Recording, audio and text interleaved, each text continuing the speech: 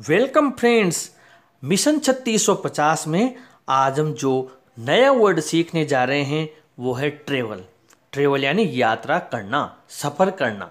इसके similar words आज हम सीखने जा रहे हैं। आज के हमारे जो दस नए शब्द हैं, वो यात्रा करना, सफ़र करना, जो कि इंग्लिश में हम जिसको हम ट्रेवल बोलते हैं, उसी के समानार्थक शब्द हैं। पहला है जर्नी जर्नी का मतलब यात्रा करना, टूर इसका मतलब भी यात्रा करना होता है।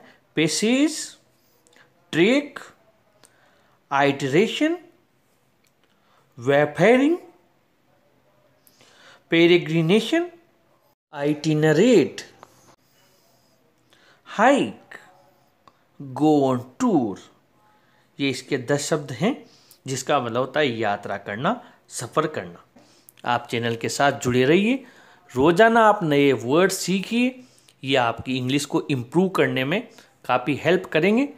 और अगर हमारा प्रयास अच्छा लगा हो तो आप चैनल को भी ज़रूर सब्सक्राइब कीजिए। Thank you